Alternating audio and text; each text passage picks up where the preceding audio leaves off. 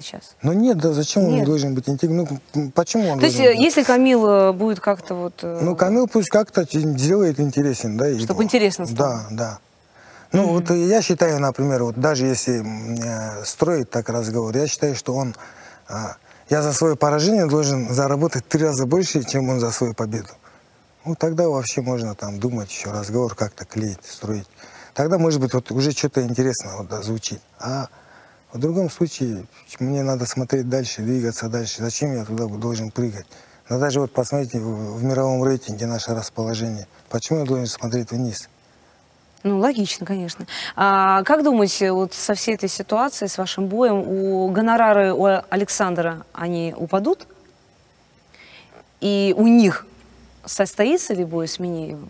Насколько вам интересно смотреть на это? На такой бой? Ну, я вот считаю, вот, вот такой Александр, который вот сейчас был со мной в клетке, вот по боксу разнесет Минеева. Ну, вот я так думаю. Мне кажется, он Минееву шанса не оставит по боксу.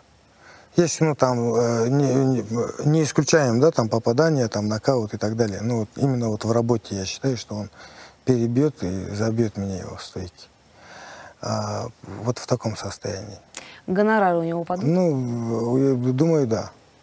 Думаю, да. Это, ну, все равно это, э, это был односторонний бой. То есть вы подпортили картину? Не подпортил, просто это был односторонний бой. Просто я был ему неудобен. Я говорил, что он меня недооценивает. Я говорил, что это будет для него неудобно.